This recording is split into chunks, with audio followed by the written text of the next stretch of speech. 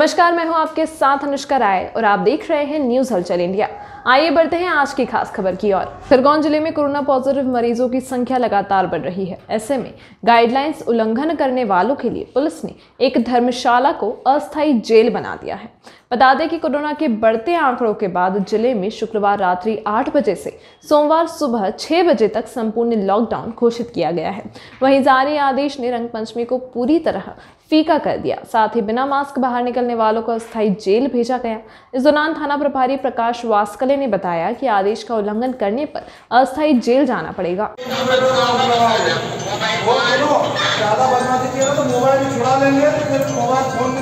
तो मोबाइल तो mobile mobile बैठ के गेम खेलो व्हाट्सअप चलाओ फेसबुक चलाओ।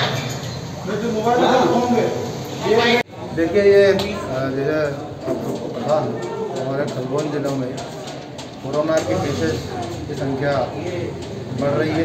इस कारण से शहर में वन फोर्टी फोर भी लगा हुआ है। आज रंग पंचमी को देखते हुए निर्देश भी शासन स्तर प्राप्त हुए हैं कि सभी लोग होली अपने घर में मनाएँ परिवार के साथ मनाएँ कहीं भी कोई सार्वजनिक रूप से या गैर के रूप में होली नहीं मनाएँ आज इसी पंचमी व्यवस्था में हमारे सभी जगह फिक्स पॉइंट लगे हुए हैं मोबाइल पार्टीज़ लगे हुए हैं। साथ ही हमने एक अस्थाई जेल भी बना रखी है।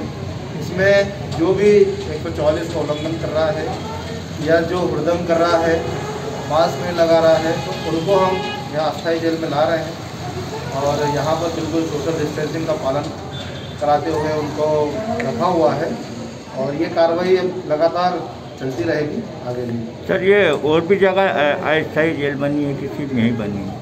अभी तो एक ही जगह बनाई है हम लोगों ने और अगर ज़रूरत पड़ेगी तो और जगह हम बनाएँगे।